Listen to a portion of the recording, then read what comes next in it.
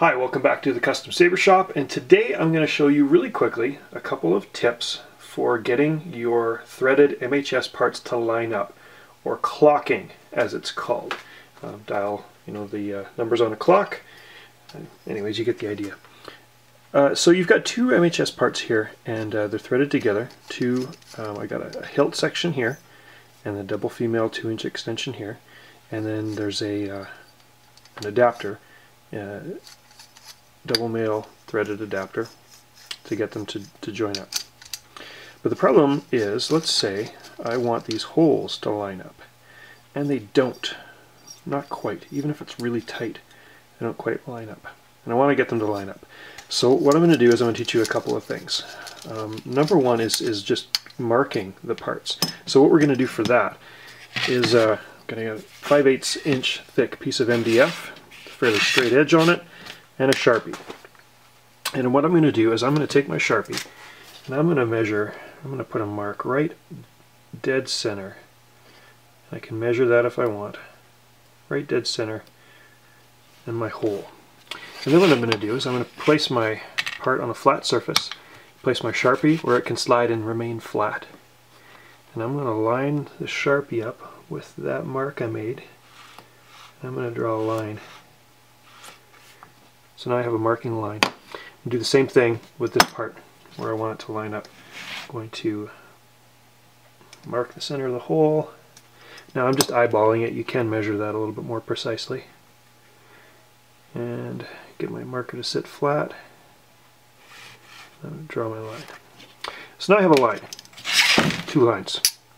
So when I thread these parts together, whoops, this way, I can see exactly how far apart my lines are.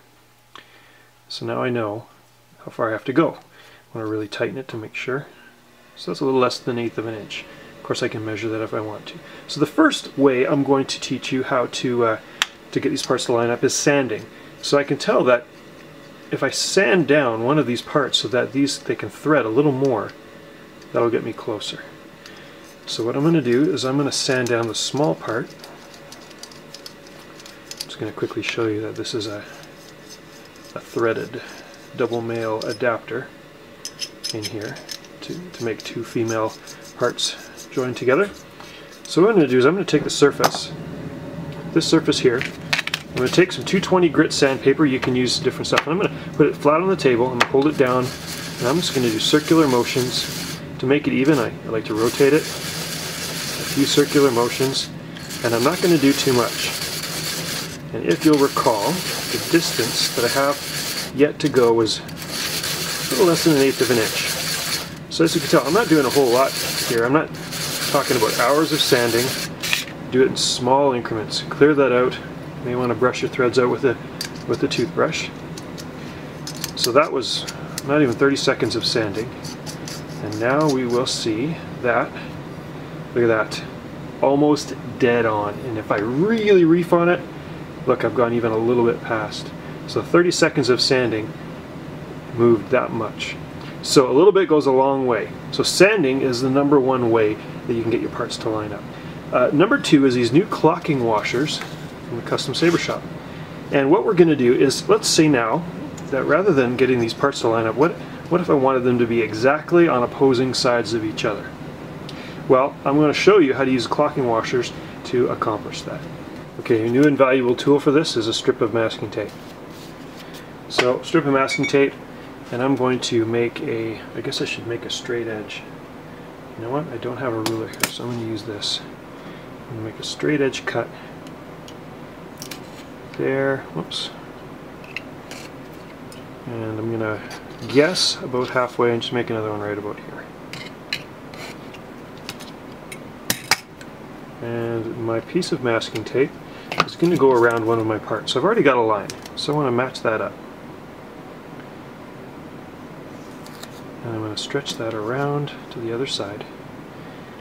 And I can see that my guesswork is actually pretty close to halfway. Um, you don't need to be exact, you just need to be half, or close, and I'll show you why. I'm going to use now my, uh, my Sharpie, and I'm going to draw a line. I'm going to trace where the masking tape ends there. Then I'm going to take the masking tape off. and I'm going to reverse it and go the other way. Again, using my line as a starting point, stretching around. You see I'm really close. Now, if I was too long or too short, the fact remains that as long as I do it the same from my from my mark, I'm going to I'm going to get two lines on the other side of the saber. Again, whether the masking tape was too long or too short, I'm still going to get two lines.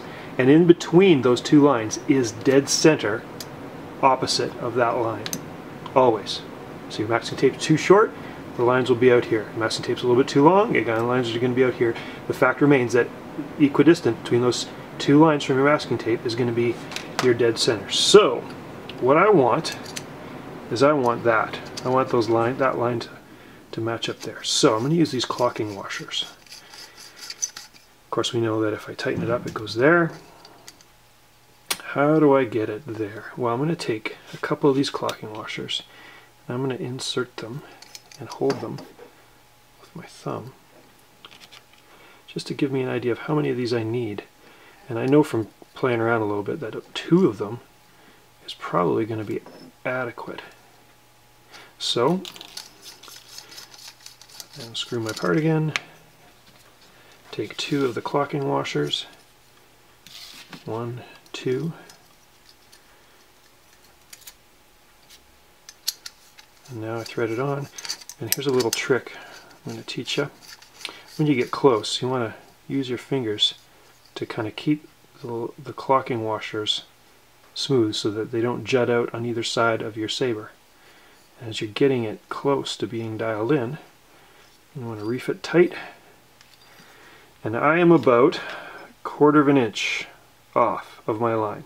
So now what I do is I sand this part down just like I showed you before, incrementally, bit by bit, 20 seconds at a time, until I get it dead on that line. One thing that I've found when I've uh, been tightening parts and getting them to try to line up is that uh, any dirt or residue in your threads or in where the parts match up can change the alignment slightly.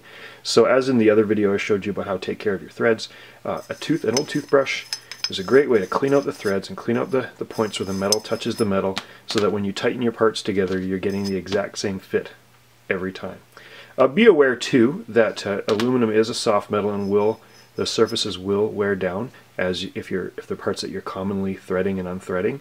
Also, powder coating is a is a plastic coating that uh, that if it's powder if you've got powder coated parts, uh, that that powder coating will wear down over time if you're constantly using and unthreading the parts and it will change the alignment slightly. Um, so just keep those in mind when you're dialing in your final alignment. Now I want to point out that it's a little different when you're trying to line up a blade holder. And in this instance it's a, a slanted blade holder with MHS hilt section with a switch hole drilled. And when I assemble these,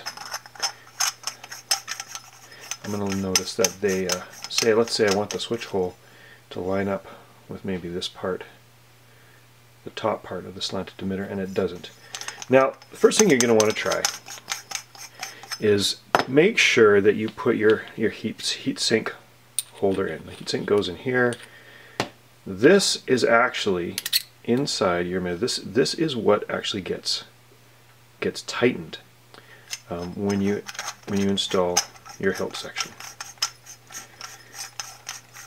So you'll find that it doesn't rattle around in there.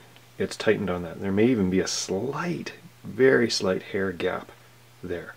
So you can't necessarily use this for your exact reference. Fortunately, um, and of course, it'd be obvious that if you sanded that down the way I just showed you, you wouldn't you wouldn't get any you wouldn't get any movement. Uh, fortunately, there are two different sizes of clocking washers. The original size that I showed you goes is meant for the in between two MHS hilt parts. Well, the smaller size is meant to go on your heatsink optic holder there. And I'm going to put three of them on there because I've already tried this out and, and, measured it. And what that does is that changes the distance here. And now, when I screw this on, those three clocking washers in there, what I'm going to get is I'm going to get um, almost a whole turnaround. It's a totally different fit. So now what I would do is then uh, I would sand down the parts to get that. Notice I didn't put any clocking washers here. You can put the original size clocking washers in there, three of them to match the three that I put on the inside. Or you can leave it as a nice decorative gap there or whatever you want to do with your design. But when I sand down, obviously I'm not going to sand down either of these two exterior parts. That's not going to help me at all. But what I would do, carefully take this apart, is I would sand down this surface here. So I would get my 220 grit sandpaper, and I would begin to sand down the same way I showed you, circular motions, and I would sand that down and I would try it again until I had dialed the part in to fit. Um, you can draw lines the same way. You may also notice on some of these blade holders, there's actually a little machine dot. That's a reference point of dead center in the, in the slant. You can use that for reference. So it is a little different when using the, the blade holder. It is a little trickier, but fortunately the Custom Saber Shop will be offering uh, the two different sizes of washers for two different styles of jobs to get your parts to line up. So thanks again for watching.